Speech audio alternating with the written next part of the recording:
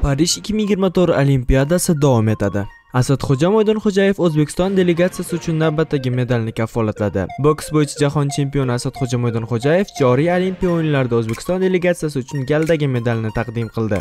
Hamyurtimiz chorak finalda daniyalik Nikolay Terteryanni kuchli va aniq zarbalar bilan ojiz qoldirishga erishdi va yarim finalchilar qatoriga qo'shildi. Bayroqdorimiz ham yarim finalda. O'zbekiston delegatsiyasining Parij 2024 yozgi Olimpiya o'yinlaridagi bayroqdori Abdumalik Xalakov yarim finalga yo'llanma oldi. 57 kg vazn toifasida o'rtasida ishtirok etayotgan yurtdoshimiz chorak finalda ispaniyalik Jose Killesdan ustun kelib, o'zi uchun Olimpiada medalini naqd qildi. Shubhasiz biz Xalakovdan faqat oltin medal kutib qolamiz. Anna Prokatin ishtirokini yakunladi. Akademik eshkak kechish bo'yicha O'zbekiston terma jamoasi a'zosi Anna Prokatin Parij 2024 yozgi Olimpiya o'yinlaridagi ishtirokini tugatdi. Hamyurtimiz B finalda 5 bo'lib ma'raga yetkazdi. Bu natija bilan Prokatin joriy Olimpiadani 11-o'rinda tugatdi. Dzyudo bo'yicha jamoaviy bahslar bo'lib o'tdi. Dastlab Kanada kanadalik dzyudochilarga qarshi bahs olib borgan hamyurtlarimiz 4-0 hisobida zafar quchdi.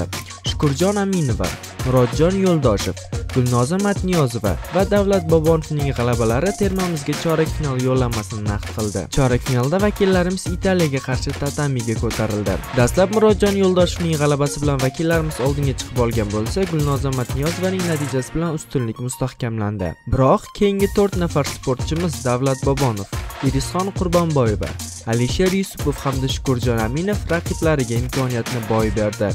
Shu tariqa vakillarimiz yarim final yo'llanmasidan quruq qoldi. Biroq bronza medal uchun kurashish imkoniyatimiz bor edi. O'tish bahsida Janubiy Koreyaga qarshi bahs olib bordik. Gulnoza Matniyozova dastlab vakillarimizni hisobda oldinga olib chiqdi. Davlat Bobonov esa raqibga imkoniyatni boy berib qo'ydi. Shundan so'ng tatamiga chiqqan Irisxon Qurbonboyeva, Alisher Yusupov hamda Murodjon Yo'ldoshev raqibga imkoniyatni boy berdi. Faqat Diyora Keldiyorova o'z jangida g'alaba qozondi. Hisob 4-2 koreyslar foydasiga. Parij Olimpiadasi dasturidan o'rin olgan boks musobaqalarining eng keskin va murosasiz janglaridan biri 51 kg vazn toifasida Hasanboy Do'smatov va Saken Bibasinov o'rtasida bo'ldi.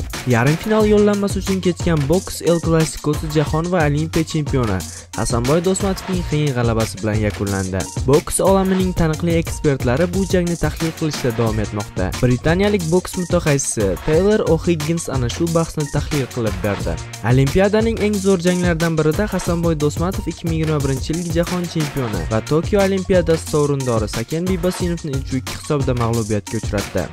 Bu bahsda har ikki jangchi a'lo darajada harakat qildi. Ularning saviyasi Parijda ko'rgan boshqa bokschilardan yuqori ekani namoyon bo'ldi. Dastlabki ikki raund bir-biriga o'xshash bo'ldi. Bibosinov Do'smatovning zarbalarini qaytarishga urindi, lekin o'zbek bokschisi qarshi hujumlardan muvaffaqiyatga erishdi. U chap qo'lda jeb zarbalarini aniq yo'lladi. Shuningdek, o'ng qo'ldagi huklari ham raqibgacha yetib bordi. Men birinchi raundni qozoq bokschisiga, ikkinchisini esa o'zbekka berdim. Baribir Dosmatov jangni yuqori darajada yakunlay oldi. Uning zarbalari aniq va yorqin chiqdi. Bu 3-raundda yutishga va umumiy hisobda raqibni mag'lub etishga olib keldi. Har ikki jangchi jahonda eng zo'r bokschilardan ekanini isbotladi. Va men Bibasinovning ushbu ajoyib jangda g'alaba qozona olmaganiga achinaman. Dosmatov murakkab uslublar jangini o'z foydasiga hal qila oldi va havaskor bokschilar orasida vazn toifasidan qat'iy nazar eng zo'ri ekanini yana bir karra isbotladi. Bu qiyin jangni boshqargan hakamlar mehnatini ham alohida ta'kidlash lozim. Ular bokschilar bir-biriga yaqin turgan, shiddatli kechgan va zarbalar hisobini olib borish o'ta murakkab bo'lgan jangni to'g'ri baholay oldi. Dastlabki ikki raundda Bibosinov va Do'smatov mos ravishda 3-2 hisobda zafar quchdi.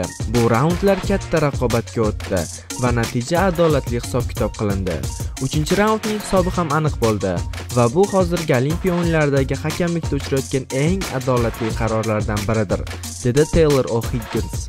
Sportchilarimizning Parij 2024dagi ishtiroki davom etadi. Hozircha 5 nafar bokschimiz yarim final yo'llanmasiga chiqqan. Bu kamida yana 5 ta medal naqd degani. Sportchilarimizga muvaffaqiyat tilab qolamiz. O'ylaymizki, ushbu olimpiada biz uchun tarixdagi eng yaxshisiga aylanadi.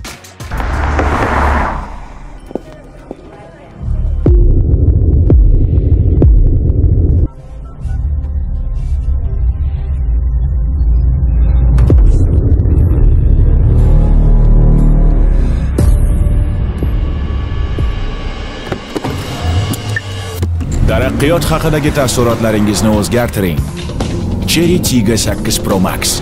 Bu uslub texnologiyalar va dizaynning timsolidir. Ushbu model nafaqat xavfsiz haydash uchun barcha zarur xususiyatlarga ega bo'lgan ko'rkam avtomobildir, balki o'z sohibi uchun maksimal qulaylikni ta'minlay oladigan noyob opsiyalar to'plamidir. Ajoyib dinamika, kuzovning dadil liniyalari va ultra zamonaviy interyer.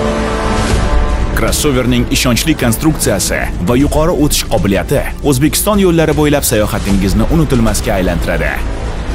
Tigo 8 Pro Max bilan ko'zlagan marralaringizni zabt eting. Enjoy your first class.